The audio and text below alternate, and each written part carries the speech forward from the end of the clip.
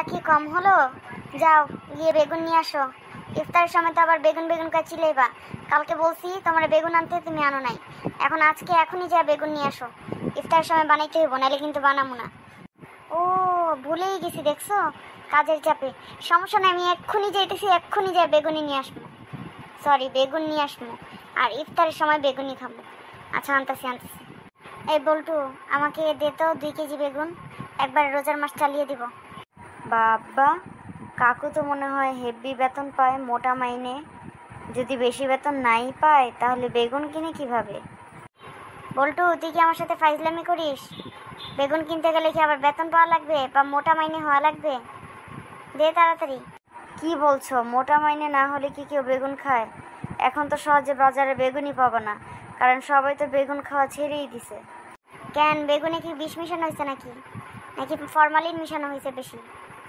High high কাকু তুমি কি দেশের খবর রাখো না?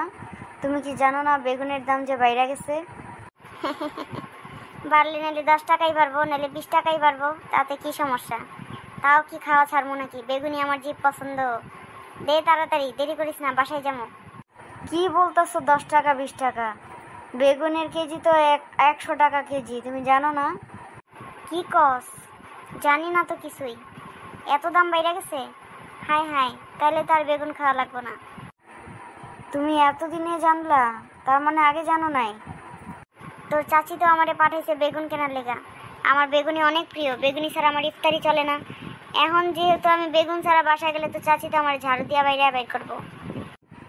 হ, কাকু বুদ্ধি তো একটা বাইর করাই লাগবো। এখন তো আর বেগুনি খাওয়া যাব না। তা অন্যান্য সবজি নিয়ে যাও।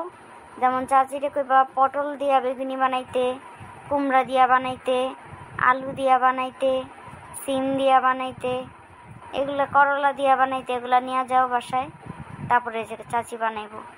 হ্যাঁ হ্যাঁ বুদ্ধিটা খারাপ করছ নাই, ভালোই কইছস। দে তো দেখি, সব সবজি অল্প অল্প করে দে তো, নিয়ে যাই। এই শুনছো? কই গেলা? এখানে আসো, বাজার নিয়ে আসছি। হাই হাই এত বাজার কি নিয়ে আসছো? রোজার মাসে এত খাবার খাইবো কে? সারাদিন রোজা রেখা, একটুখানি খাইবা ভাত। কেন নিয়ে আসছো এত সবজি? বিরক্ত লাগতেছে কিন্তু আমার। আরে, আমি তো সবজিগুলো কেন আনছি আগে শুনবা? তুমি সব সবজি আনছো, বেগুনই আনো নাই।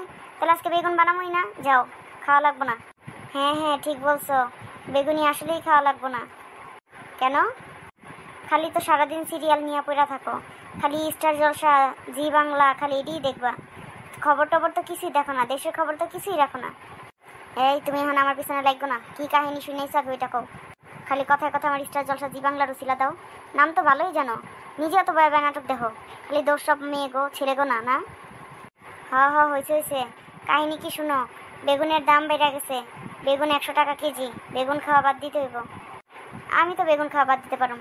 আপনি বাদ দিতে পারলেই হইল। নিজে তো খাওয়ার বেলায় বেগুনি বেগুনি খাচ্ছিলাম এখন কি খাইবেন সেটা বলুন। এই যে দেখো বাজারের ব্যাগের ভিতরে বেগুনের পরিবর্তে কত ধরনের সবজি আনছি, এগুলা বানাইবা।